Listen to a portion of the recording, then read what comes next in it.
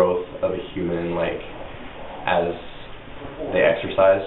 So you start out, you know, maybe you're not in very good shape, but as you grow up, up, up, up, up, um, it symbolizes that growth. Um, I think it means that it's like a transformer coming out of the dirt. Well, it kind of looks like something coming out of the ground and moving um, towards or like up, so it's like kind of growing up. Oh, I think it, it's spider legs out in front of it. Oh, I, I didn't think it was supposed to be anything in particular. Um, for me, having it outside the gym, maybe like some like a hand of a man or you know like an athlete It doesn't make sense. of an athlete.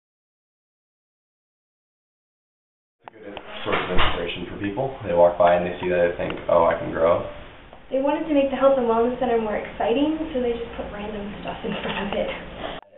Why it's there? Um, I heard something like one percent of every um, like building cost on the campus needs to have like some form of art made. So that's why I think it's there. It's because it it builds that quota.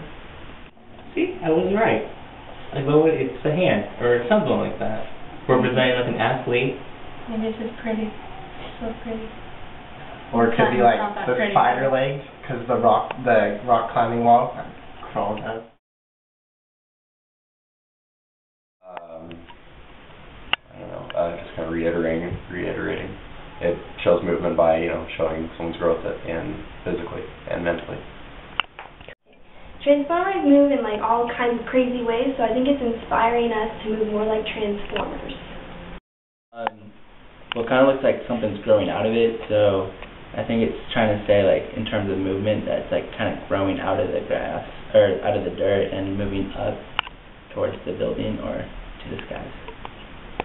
Um, I think it shows different how the body moves in different ways, like what it looks as it's moving from one movement to another, different stages.